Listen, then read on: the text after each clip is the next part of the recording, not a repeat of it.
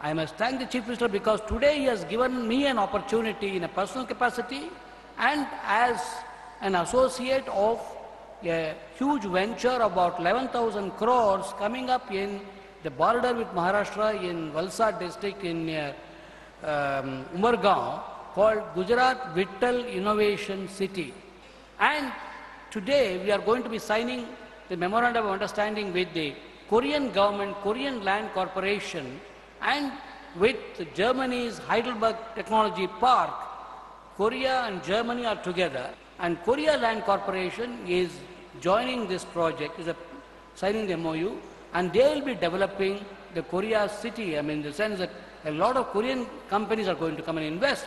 Not only that, what is special about the special economic zone or the Gujarat Vittal Innovation City? It is the unique, only special economic zone in the country today which is based on knowledge creation.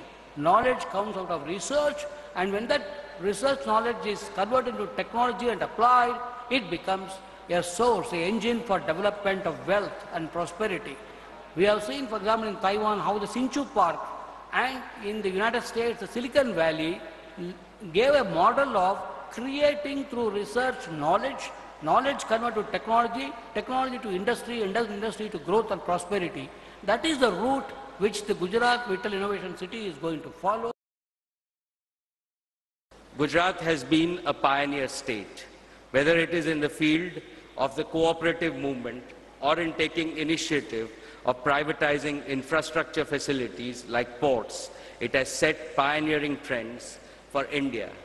And now its focus is on soft infrastructure.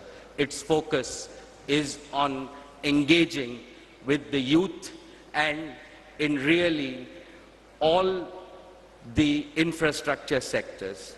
This gives Gujarat an innate advantage. The Gujarat of the 21st century is the embodiment of a nation transforming itself into a world's largest economy and lifting millions on millions of people to a better quality of life.